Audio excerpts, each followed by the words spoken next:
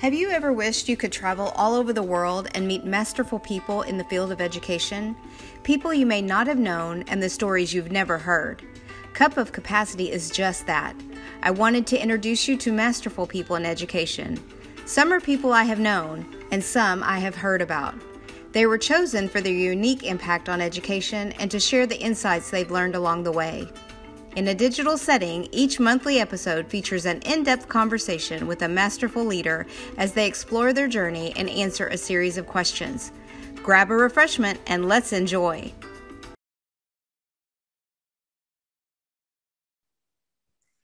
Hi, everyone, and welcome to this month's Cup of Capacity. I'm super excited to be with you guys today. My name is Dr. Mechiel Rozas, and as you may or may not know, I record an interview with someone who is a fascinating uh, literacy leader or instructional leader in the world of education each month.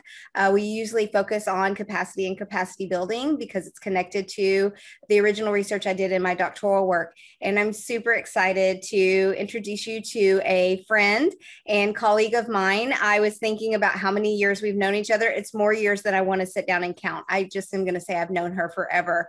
Deb Diller, as you know, is an expert in all things literacy. She's an expert in lots of things, including literacy She has been a teacher, she is a trainer, and she's the author of many, many books, including one that's coming out very soon about small group instruction. And we're super excited to uh, get our hands on that book. So, um, without further ado, I want to introduce Deb Diller. Thanks, Mechiel. Um, it's been a long time, and uh, and I'm delighted to be here with you um, to talk a little bit about capacity. And um, I've lived a long, full life. Um, with seems like I've been a teacher forever as well. Um, so I was kind of thinking about going back and tracing some of my roots um, of teaching, but not just teaching, but actually looking at being a writer. And I have kind of an interesting journey um, along the path of becoming a writer. I was just having this conversation with someone the other day, and I told them that when I was in school, we were not really taught how to write. Um, I don't remember, other than handwriting and grammar and spelling, I don't remember a teacher modeling and showing me how to write. But my first published piece was in second grade. It's a story that I wrote at my grandmother's house called The Littlest Snowdrop. And it was about this early spring flower that came up. And I wish I still had it today. I remember it was in the school newspaper. And um, that's one of my earliest thought remembrances of being, and my earliest memories of being a writer. Um, before I came on today, I, I found one piece of writing that I did as a kid. Um, I have like the actual thing here. Somehow this did not get thrown away from the attic. Um, when I was in ninth grade, we had to write an autobiography, and mine was called Yesterday like I had had such a long life before this.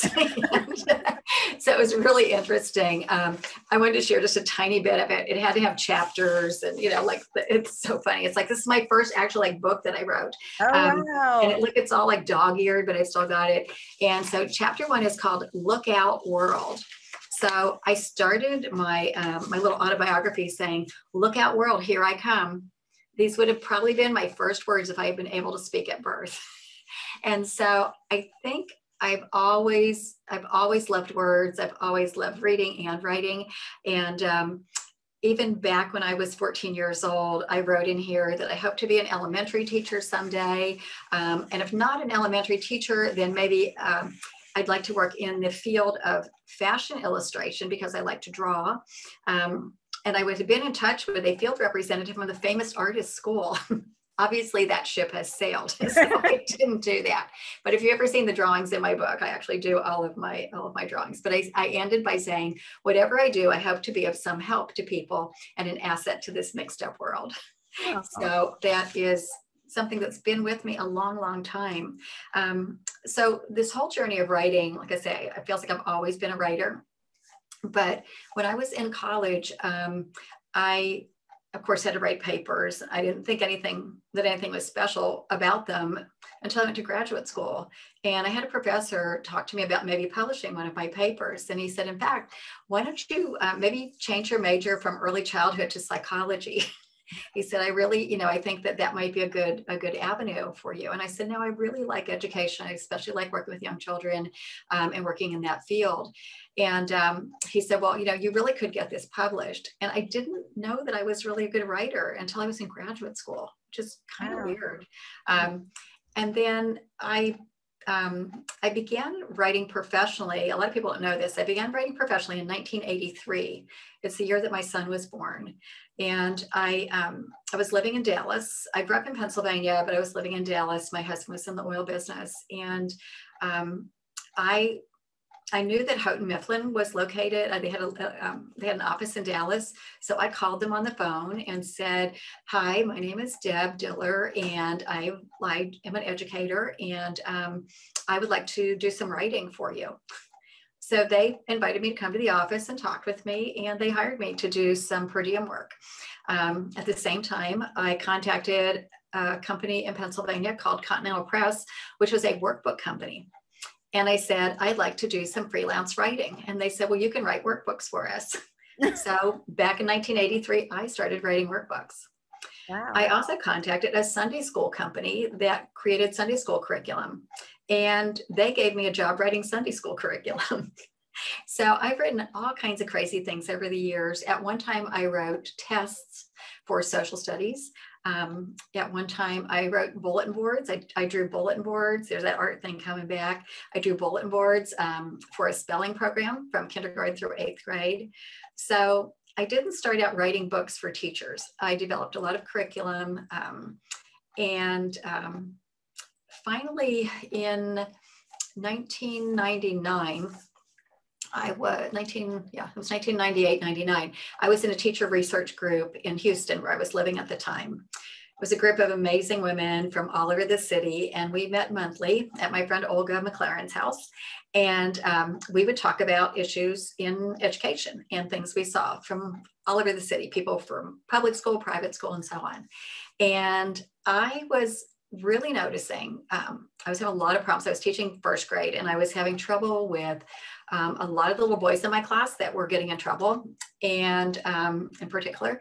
And I was noticing that outside of the office of the principal, there were always like these big long rows of little black boys that were sitting out there and it really disturbed me.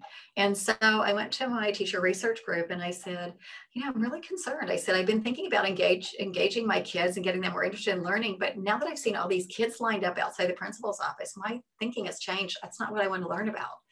And one of the girls in the group said, what, what do you want to study? And I said, I want to do teacher research on how to help young African American boys as a white teacher.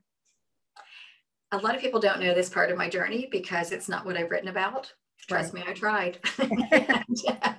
so, as part of my being in this research group, I decided to write um, write an article for the Reading Teacher. That if I could get published in the Reading Teacher in 1999, that was going to be like my big dream of being a writer. And I wrote the article. It didn't get accepted right away, but they were interested if I'd make some changes.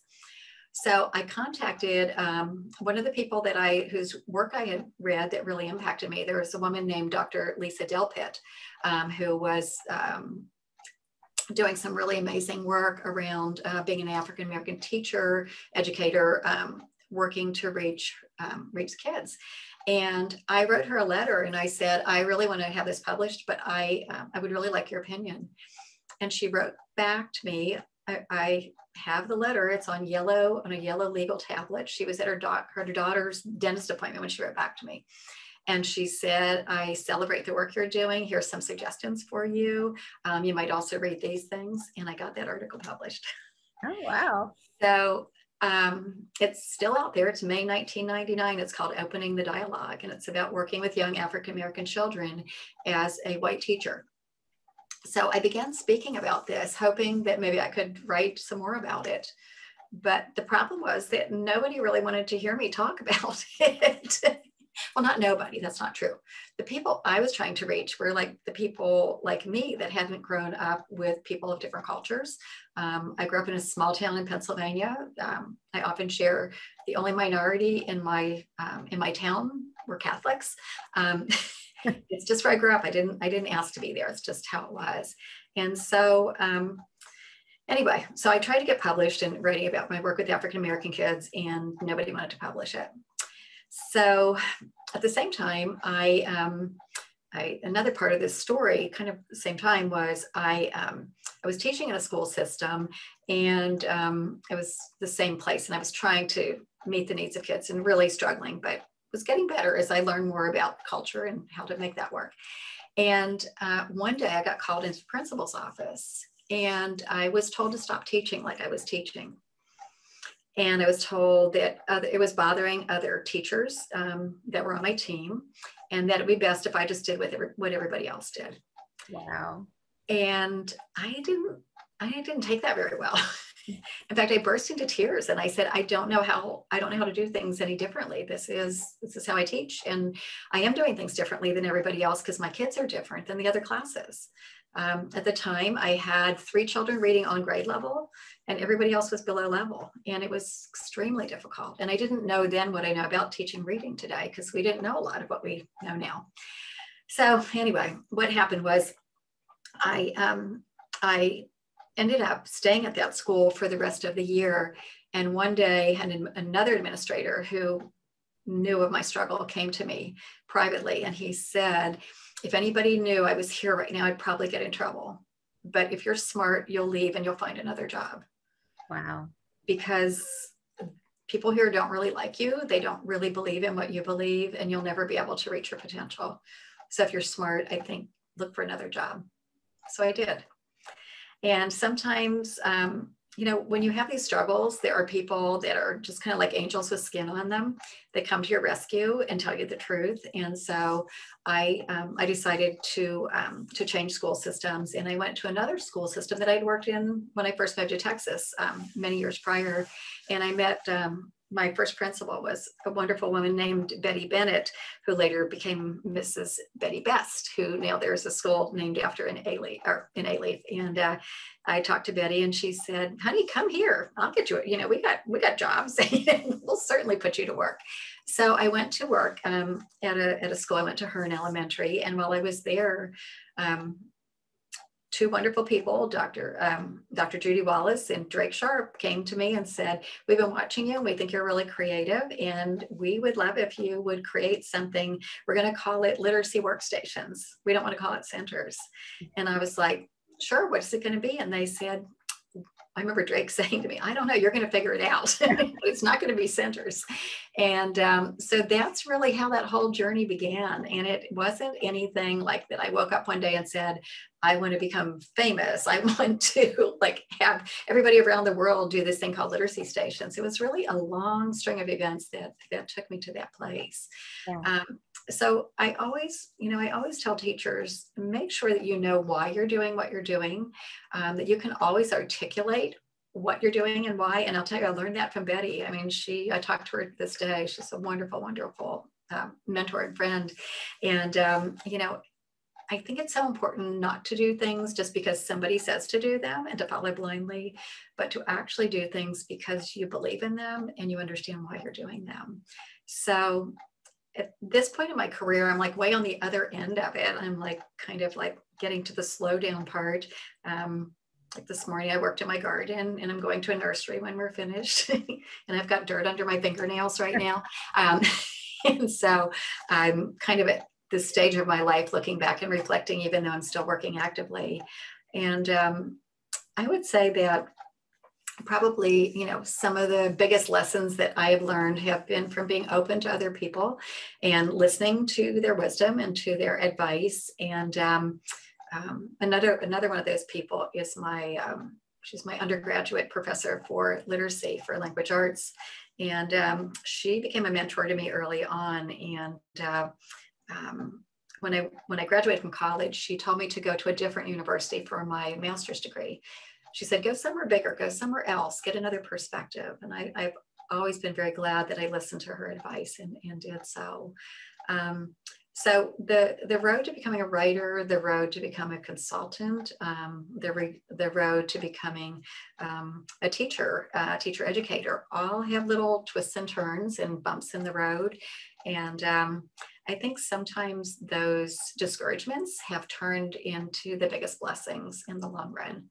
Um, I'm glad I had some of those diversions along the way um, and that things didn't work out because I think that that's what made me a stronger, um, you know, better educator along the way. So, so those are just some of the highlights. Um, people always ask me like, what's your favorite grade to teach? And I say, I love the one I'm with. Um, I started out when I was in college, I ran my own preschool in the summers. And um, I gosh, in the summers when I was a kid, I used to um, make all the neighborhood kids come into my basement. I had a school set up down there. and my boyfriend says, I can just imagine it be like, oh my God, here comes Deb, run, she's going to make you play school. so that's always been a part of a part of me. Um, but I ran a, I ran a preschool when I was in college. And then um, I also did some work around centers when I was in college. We called them centers back back then in the 1970s. And one of my professors invited me to go to her graduate class to talk to her students about the ideas I had for centers even back then. So it's interesting to go back and trace your roots to things that happened along the way that you just had no idea it was all going to pan out. And um, another kind of interesting thing I think about being a writer is that many times when I work with teachers, um, we were always trying to get kids to write about different things. And you know don't keep writing about your dog or don't keep writing about this or that. But i've been writing about literacy stations since 2003 wow. and that is that's a long time it's almost 20 years of writing about the same topic. But what has happened is that the more you write the more you learn.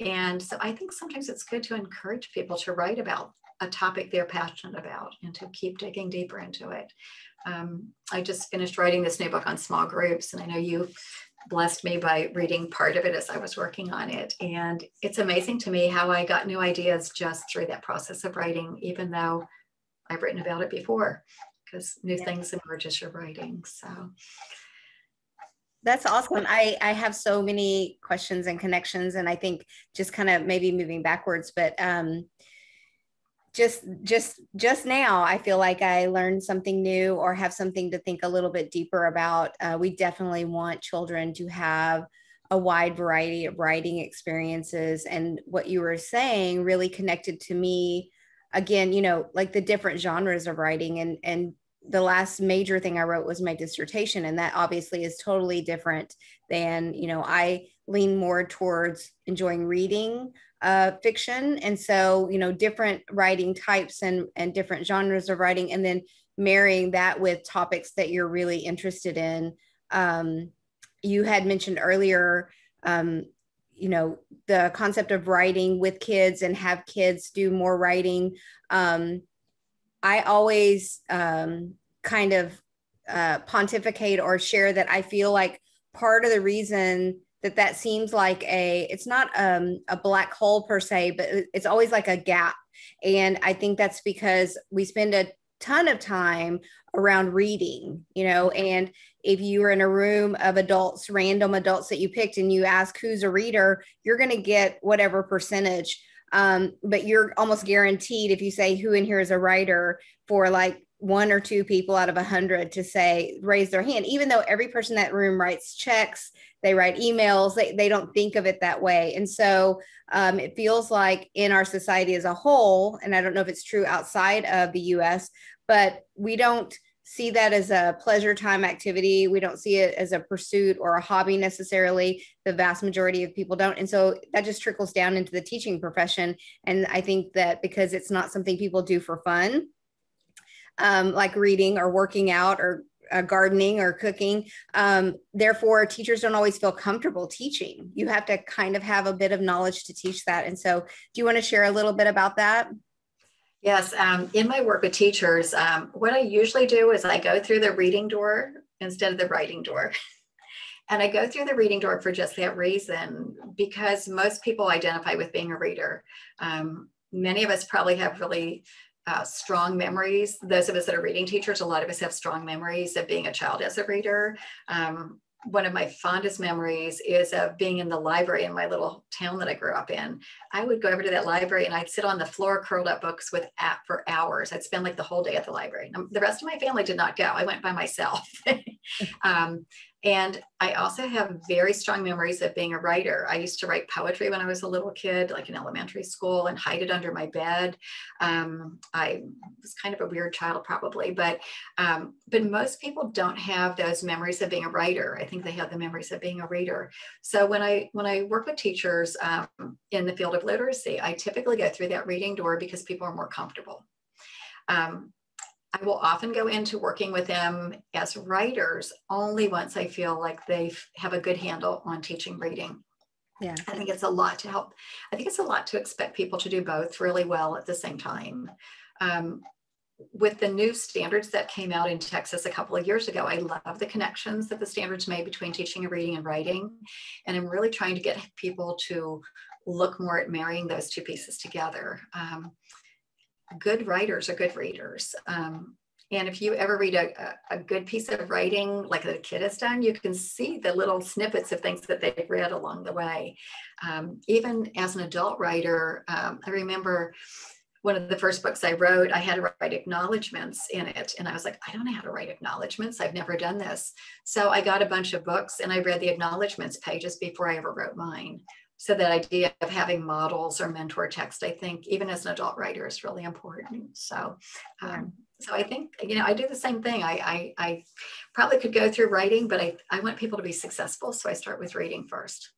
I'm wondering about um, i think that you it's really powerful when a person no matter really who they are but when a person learns it for themselves before they start mm-hmm. teaching but if you think about it, if you're a classroom teacher, you did have to learn how to decode. You do did have to learn and improve your fluency. You did have to learn sight words. You did have to mm-hmm. improve your comprehension. However, when you become a teacher, it's not like you have to relearn decoding and relearn, you know, they're internalized. And I think that those of us who try to be stronger and stronger literacy influencers, leaders, whatever you want to label it, um, but for writing because i feel like there is a bit of a and i don't know what the term is gap or absence of that kind of um, life or pursuit.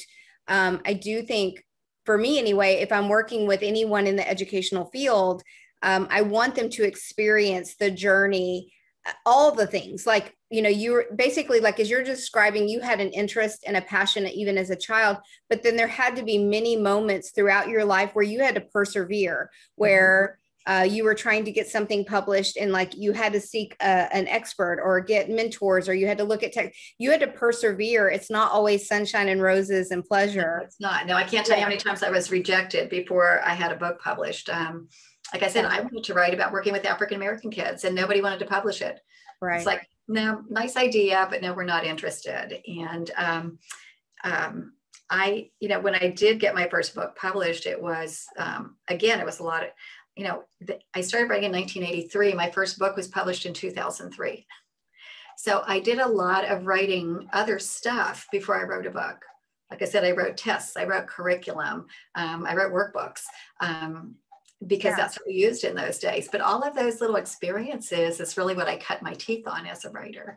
Um, it didn't just happen overnight. So um, so it's that's why like earlier i was saying i feel like i learned something new or have something more to kind of think about because um, you know, I have a son who's about to graduate high school, as you know, and um, he is actually a very good writer. I've discovered that as time has passed on. Of all the qualities, I think he actually is an amazing writer due to some excellent teachers. But um, that I, it's really probably started in middle school, but like it, it would make me laugh and not laugh. But you know, this concept of like they write something and they're done. Mm-hmm. You know, mm-hmm. like really good writing involves going back to that piece or using your interest and knowledge in a different piece. And so like you had said like you know for students to um, revisit work and go in deeper as opposed to writing about a million different things you know they, there's a balance. It's not one or the other but i really think that's such a powerful concept to consider um, and that you know if we could wave a magic wand that over the life of a child pre-k to 12 and then beyond um, that it's not only okay or expected, but it's part of the journey to revisit pieces um, and to take from those and put them in different formats. So I just really think that that's something I haven't really thought about. Yeah. It's it's funny when you when you were sharing that. It I can I really I can vividly picture things that I wrote in school. There weren't a lot of them. I think it was in fifth grade. We had to do reports. And my parents had just bought a set of encyclopedias. um, and I remember where they were in the living room, you know, they all had like the, you know, the navy blue binding that all matched. And I loved the encyclopedia. It was so exciting. Um, and um, I remember I did one of my reports was called um, Mountains of Meat and Valleys of Vegetables. Wow. And it was all about food groups and uh, what was healthy and what wasn't. And I had to illustrate it. And again, it probably looked kind of something like this, but it had like pencil colored pencil illustrations that went with it. Um, and those were things, even this piece that I wrote here, it's not something that you just wrote and handed in. It was something that you worked with for multiple days and you went back and you revised it and you changed things and you made it better. And um, and I think that's part of that's part of being a writer. It's not like you just slop it down. Um, it made me think you were talking about your your son. When my son was in high school, one day he came home and he's like, "Mom, I got this paper due tonight or tomorrow," and I was like, did you just find out about it? Uh, he's like, well, uh, well, kinda. And I said, well, what, what, what's it about? He goes, I don't know. And I don't know what the topic was. I don't remember, but he showed me. And I was like, what the teacher do? Pull this out of a hat? And he said, well, actually we did. he said he had like a bag and we all had to reach in and pull out a topic. And this is what I got stuck writing about. And I remember it's really late and I was like, you know what? It's not worth it. I said, I'm just going to write it for you. Like, let's just do it together. So I down, I sat down, I practically wrote it for him. I got a B minus. I was so ticked off. and uh, you know, but that's that's the kind of thing that sometimes is done because people don't know what they don't know how to teach writing. So this whole idea of assigning what to write about, you know, like I look back and I, I think everything I remember writing, I had a choice about yes, I had to write an autobiography, but what do you know better than your own life? So, um, you know, they were things that I was interested in. So, yeah. whenever I work with teachers, I always say that kids should write about two things. And this is advice that I use myself as well. You should always write about what you know about and what you care about. And that's my best advice for anybody who's a writer um, or is working with kids that are writers to, to think about those two things. So, I love that. Um, I want to go back to you mentioned, you know, focusing on the why and um, you know in my i'm in my 50s and you know there are certain things that seem silly to say big girl moments but there are certain things that you feel so secure and you're like this is part of being a grown up you know you feel like you should have felt this long ago but you know there's different stages of life. And uh, i was thinking when you said the why and you know not just being compliant but i think that that is for an educator and even leaders of educators where you're talking about principals or superintendent or district people you know um, compliance comes first. Like what are the rules of the game? And let me do this. And uh, but then I do think it's a marker uh, of you as a professional and um, becoming, you know, developing your expertise um, that you have, you know, whenever your brain or somebody outside of you um, kind of starts pushing on you about why are you doing and not in a, you know, a gotcha way, but really reflecting on you know is this at the corner of your beliefs research and you know classroom practices and really being secure in your why? You know those core beliefs should then drive your practices. You mentioned dr wallace and uh, i always am reminded you know that beliefs drive your practices practices drive your resources and that's been something i hold as one of those uh, uh, guiding sticks for me. So um, do you want to talk i know you work with teachers and educators of all kinds across the us plus writing about it.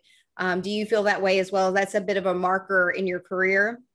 Um, absolutely. Um, it started for me when i was very young. I was um, i was i had already taught i had I, my first teaching job my uh, my principal was um, he was ex-military and um, it was rough. I remember my conferences had to do with things like um, I was the way I dressed uh, was not appropriate because I taught kindergarten and I was wearing uh, corduroy pants instead of dresses. Um, I had a pet rabbit in my room that he said was not being cleaned up after frequently enough. Um, I mean, there's nothing about teaching like that I even remember. Um, and then I had the opportunity. I, I moved um, to Pennsylvania from Pennsylvania to, to Texas, and I I worked with with Betty um, Betty Bennett at the time, and and she would come into your room like it was an open classroom. I will never forget. It was open classroom, and um, you had to put your objectives on the board, and everybody always hated that. It's like put your objectives on so you know what you're teaching. It never bothered me to do that because it, it just made it clearer. And I remember my next my next door neighbor teacher beside me she'd be like oh my god oh my god betty's coming betty's coming and i'd be like yeah and she goes i know but like you have to be able to tell like what you're doing and i said yeah because if you don't know what you're doing she's going to ask you why so i think that my why was established when i was a very young 20 something teacher because of the administrator i worked with who um, she would just come, she'd have a clipboard and she was kind of serious and she'd kind of sit there and she'd take notes and people were freaking out. And I was like, I don't know if I did something wrong, but I'm just doing what I know how to do. And then she would talk to me afterwards. And, you know, as long as I could tell why I was doing something, there was no problem. And I remember um, I was in graduate school um, during that time and I decided to study um, teaching writing to young children. It was a brand new idea. Uh, I was 1980. It was a brand new idea to think about um, teaching very young children how to write. Donald Graves was just on the scene. And so I studied his research and his work. And um, um, he had this young graduate student named Lucy Calkins. who was not even on the scene yet. So it's just kind of funny to look back at those times. And uh, and I remember that Betty and I had this conversation about um, writing and teaching grammar and and color coding sentences. And I mean, I was young, and I, I said to her, I just don't, I don't think this makes sense to do this. And she said, Well, if you can find a reason not to, let me know, and we'll talk. So that's what I did my master's project on. So right from the get-go, I, you know, I really learned how to defend, not defend, but really state my why. And um, because of it, I've I've never stayed in a bad place. I, I have left. um, when things were when I couldn't make the changes that needed to happen and it was affecting me personally. Um, and I, I'm a big prayer warrior and I would pray fervently about it. And it's like, okay, show me when to leave and I'll go. And so I just followed the path, not the path of least resistance, but the path that I felt was opening up for me to take, um, which in the year 2000 led to me starting my own business it was not my idea. it was it was a voice that came to me and said, "I want you to start this. I want you to leave the security of your classroom, and you're going to, you know, you're going to go out and you're going to start working with teachers." And um, looking back, I guess it was kind of a scary thing to do, but it it was what I knew I needed to do at the time. So, well, I think that that um, thank you for that because I think that concept of the why runs across so much of our lives and the journey. And I know that I've shared with you before, Deb, we have a lot of friends in com- com- um, common. And as a brand new teacher, I distinctly remember coming to somebody who we both know, and I was very excited about my penguin unit. And I went on forever about my penguin unit and how crafty and fun it was going to be. And she calmly stood there and listened until I stopped talking. And then all she said was, What does that have to do with pre K and the pre K guidelines or kinder? And she turned and walked away. She really didn't even wait for my answer. And I was so, I went from astonished to angry to, you know, all the emotions. But later I realized, you know, I'm in Texas. There are no penguins. And so it, it, it didn't align in any way. And There's so no that, snow either most of the time. no.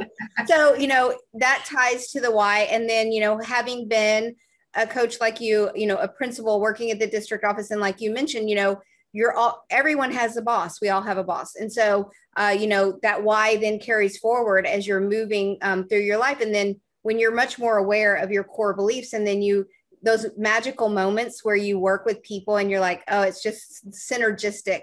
And then, you know, by I feel like I'm lucky. I've only had a couple of times in my life where you're uh, being led by someone and you're like, mm, this, this is not a good alignment here. Or sometimes for various reasons, someone is leading and they don't quite feel, they don't quite know and they're kind of faking it and they don't realize like everybody knows. So uh, I think that that why is so important. That the ability, you know, Brene Brown, another good Texan, you know, that ability and willingness to be vulnerable, a tremendous growth can happen.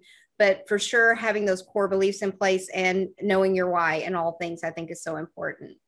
Well, if, you look, if, you look, behind me, Mechiel, I don't know if you can see the sign on my wall, um, but it says, "Why is that?" and uh, it's um, like I said, it's my favorite word. I, I, love the word "why" because if we're not asking it, um, I don't think that um, you know. I want to always understand why I'm doing what I'm doing. Just yeah. it helps. It helps to make decisions a lot. Yeah. Um, I, I try to jot down a couple things. I really um, you know, like you said, you didn't plan, you didn't wake up or as a five year old or a nine year old say, you know, I'm going to do all these things. Um, it was a journey and um, the trail was, you know, a lot of variety there. But, you know, um, the need for how to support teachers in new concepts like how to break off from whole group instruction and go into kids having independent practice and for you to pull small groups you know the workshop model um, you know it was like you your knowledge your expertise um, and the need you know meeting together and uh, you doing the work and putting forth the effort. And then i think also um, being in classrooms you know you mentioned like you really love listening to other teachers. So it's a marriage of all those things. It's like your instructional knowledge and your gut um, and what research says plus like what is needed in classrooms because you've traveled and worked in a lot of different classrooms and there if let's say it's 4000 was 4000 different needs and situations. Um, so i think that that is such a great um, cocktail of uh, items that come together. And i think if you do you know one without the other or all of those pieces it won't be quite the same. Um, do you do you want to talk any any about kind of all those things coming together? And even maybe um, you know you and I um, uh, have lived through similar time periods. And so at, you know 80s 90s you know as things are moving and changing what that looks like. Yeah so i've been through a, i've been through a lot of different movements in education. I said that yeah the reading wars are back for the third time in my career. Um, and, um, you know, I, I lived through, I started teaching in the 1970s. Um, I started out as a kindergarten teacher. And back then, you, I mean, we made our own curriculum. There weren't any state standards. Um, I was well trained in early childhood. I had a fantastic undergraduate experience. I went to a state college that was a teacher's college. Um, I had wonderful mentors. Um, just I had a really good program and I I was very unusual, I think, in that when I started teaching kindergarten, I actually knew what I was doing as a first year teacher. And I was the only kindergarten teacher in the building. So they kind of left me alone. And I have very vivid memories of things I did that, that first year as a teacher. Um, and I am still uh, friends with one family in particular that their daughter became a teacher and she remembers stuff that we did in kindergarten all those years ago, which is just crazy. Um, so I think I I grew up I grew up as a te- I grew up as a teacher in a really special time. Um, the 1970s were filled with lots. It was called the language arts, and there was a lot of art in it. We had um, poetry was very new on the scene of working with young children. Children's literature was just starting to boom. Um, it was um, we did a lot of integration of the arts with with literacy um, i was able to learn about how to teach young children to write which was just booming on the scene and then came this interesting time called whole language and um, i was not a classroom teacher really very long during whole language um, but i was starting to um, to do some consulting on the side it was the time that i was having children and I worked part time doing some publishing and doing some per diem work. So I had a lot of time to read and research. Um, so what I remember most about whole language is kind of crazy. Um, being in Texas, I, I can remember we used to. I'm a little weird, so um, we would like dress up to match the theme that we were teaching. So if you were teaching about the legend of the blue bonnets, you would wear blue that week, and you would like you would make food with blueberries. I, you know, like everything, I don't know, it was just, it's just kind of, you know, it was like rodeo stuff and everything had to do with the rodeo. So whatever you were studying, you just really went whole hog with it. Um, it was a really fun time to be a teacher.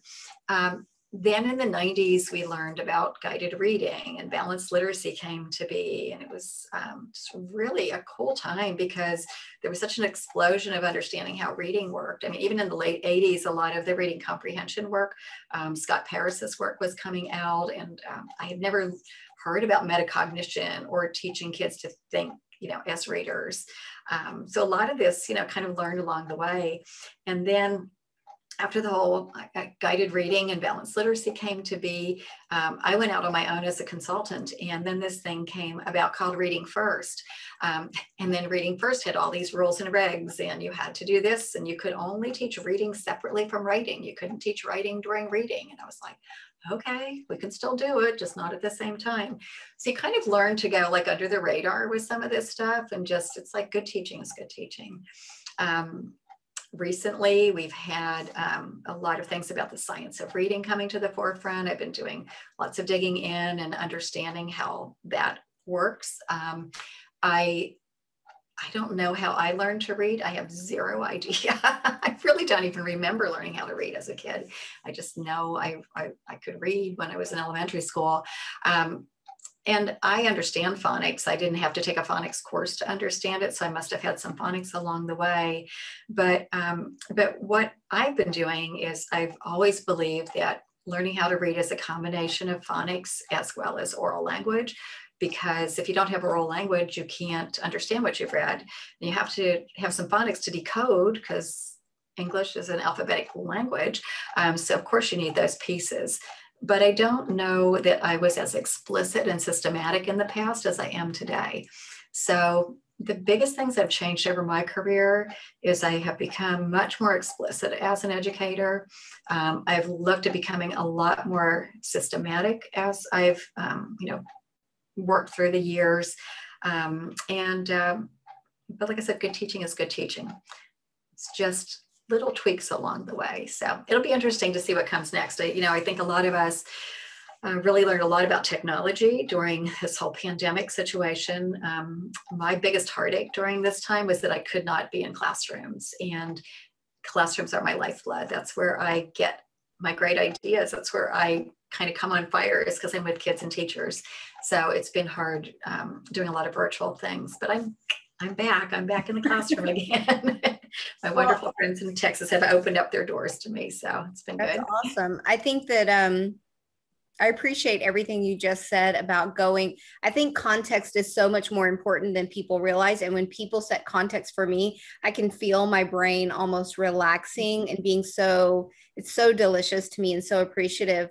Um, and I think that that that story told by many people mm-hmm. uh, is so valuable to so many people and i appreciate you sharing that and i do think it's fascinating to me that in well over 150 years we can't all agree on how to best teach kids how to read uh, and that is a fact and mm-hmm. another fact is that over 60% you could pick any district in any part of the us and you could just randomly pick the number 60% and you're going to be pretty close um, that that's the percentage of people who are reading below or far below uh, level.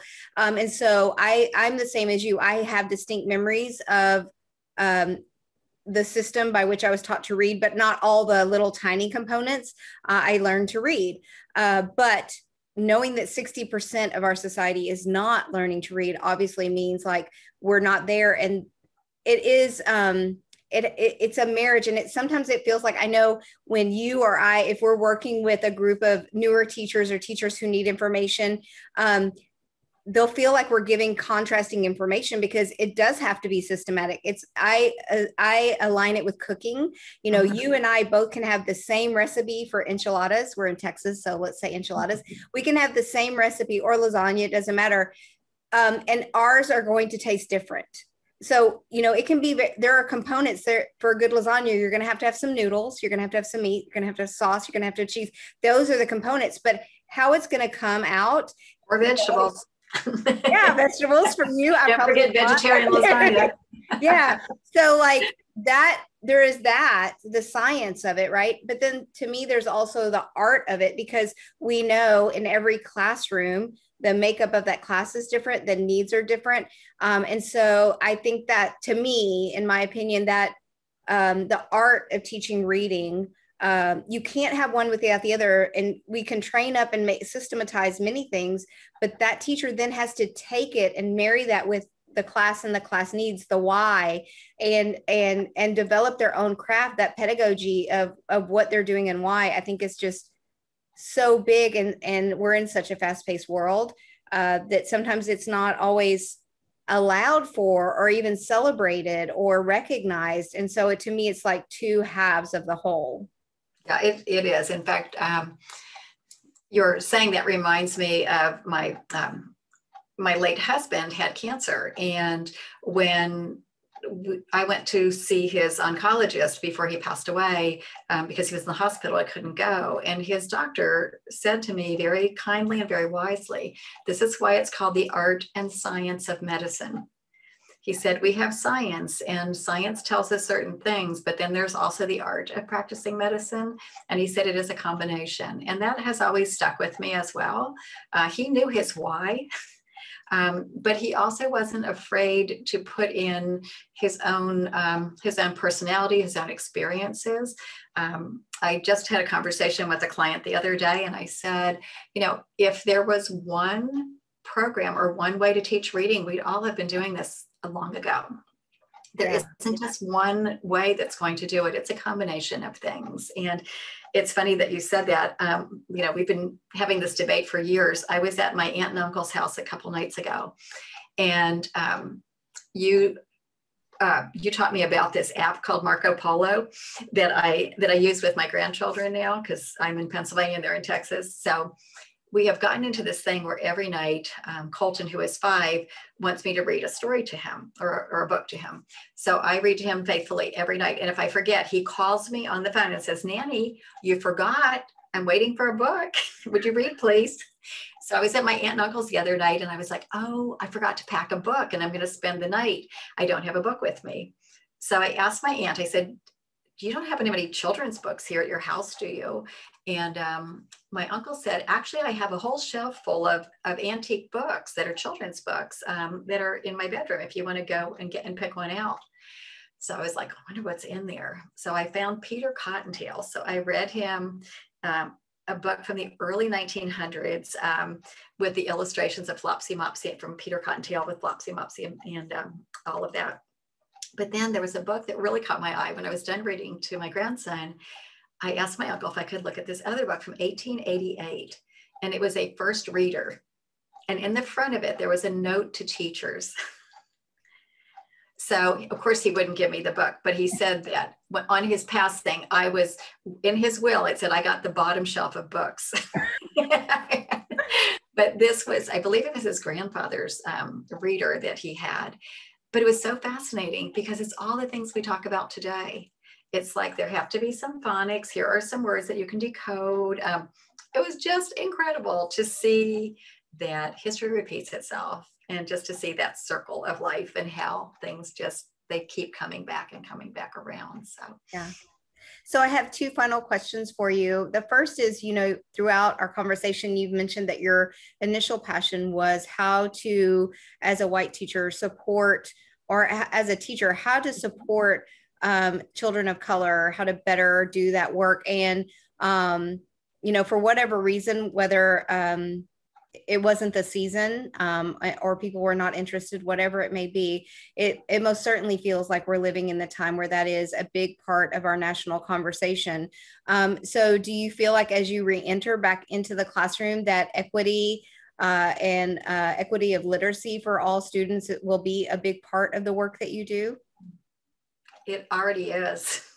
It has been for many, many years. Um, I will tell you my defining moment in that was um, back in 1999 when I read a book to my class called Uncle Jed's Barbershop by Margaree King Mitchell.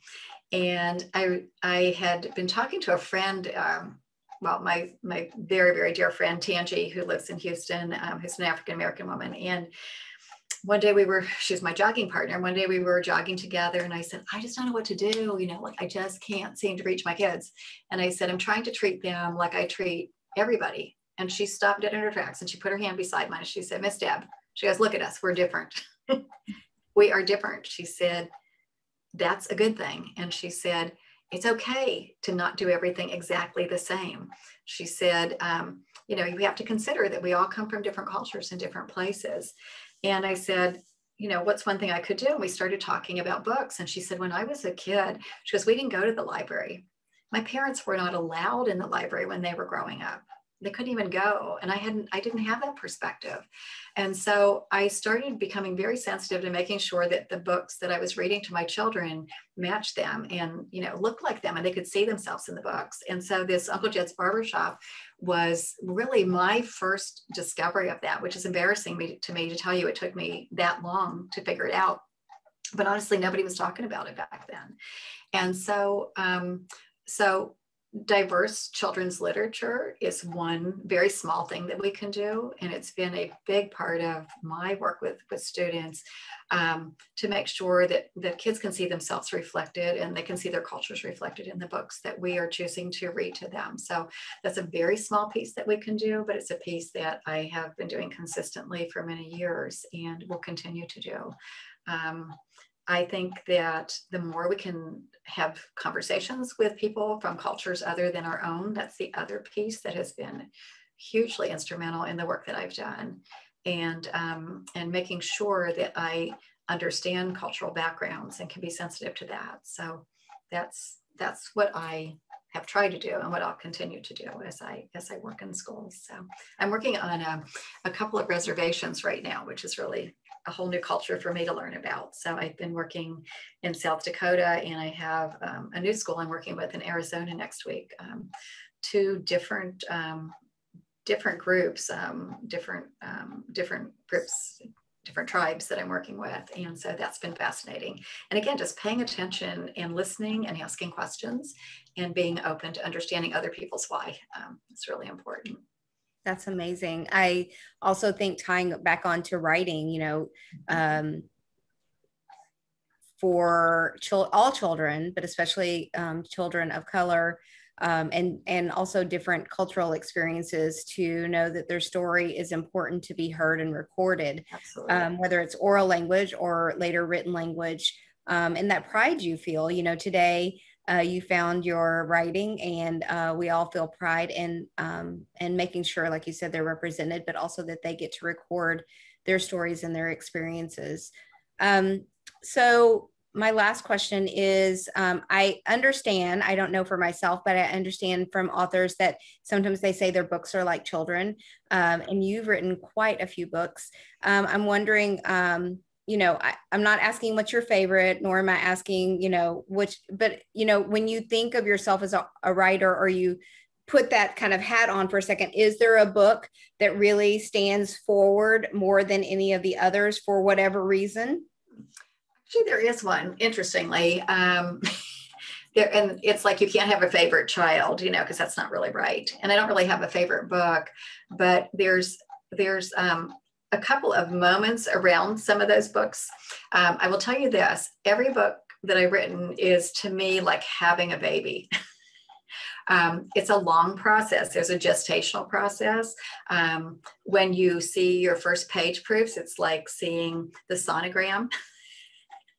when it comes out. I mean, it's just bizarre. It's it's very. I usually gain weight when I'm writing because it's so stressful, um, and then hopefully I lose the weight after the baby's born. So actually, I I don't look at my books as children, but I do look at at each experience of writing a book as, as a birth of some sort, a birth of ideas. Um, but there's a there are a couple things that, that I, I can share with you. The the the first kind of like thing that pops into my mind is when I got the letter saying that literacy workstations would be published. I stood at my mailbox and I must have screamed. I was so excited. I just could not even believe that that book was getting published, you know, that I got that letter in the mail. Um, another kind of like writer's moment of books um, was concept of the book spaces and places that I wrote uh, which is a very different kind of a book. It was mostly photographs and they were all colored photographs. It was the first book of all colored photos that had been published in, with uh, Stenhouse Publishers, who I was working with. And I, I don't know that other publishers were even doing that. So it was kind of a proud mama moment, you know, that I, that I came up with that, that concept of, of using photos. And then the most recent work I've been doing, the Simply Station series, actually came to me in a dream. Um, I have never in my life like dreamt a book, but this baby, I dreamt the title of the book. I dreamt what the format would look like. I, I wrote all my ideas down on a plane. I kind of storyboarded the whole thing out, and I knew that it was something that I needed to do to try to, to reach today's um, today's audience. So, I think um, as a writer, it's not necessarily a book, but it's the evolution of all of those books that I've written and how they've come together as a as a, as a set, as a, you know, as a legacy, basically, that, that I'm leaving that I hope that teachers will continue to use after I'm gone and, uh, or at least gone from the teaching world. so. Yes, we're not going to think about that, but I, I do think that, um, uh, I think you would agree with me. It's not necessarily about you, but like the, like you're very passionate about the why and supporting children and supporting teachers and that body of work that you have done um, is substantial and it's very important and it is um, you know it has informed generations of teachers and will continue to do so. And um, i really do want to appreciate you for being with us today on cup of capacity. Um, i want to uh, remind the viewers who may be watching um, to subscribe so that every month you um, get a notification when we have a new interview at the first of every month. Um, and also, if you really enjoyed the conversation today, to feel free to tweet or post uh, on your social media uh, accounts and share this link with others so that they can see all of these interviews. Um, and Deb, thank you again for your time today. My pleasure. So. Hey, thanks for listening to this interview. I hope you found value in the conversation, made a connection with your own life, and had an aha moment or two.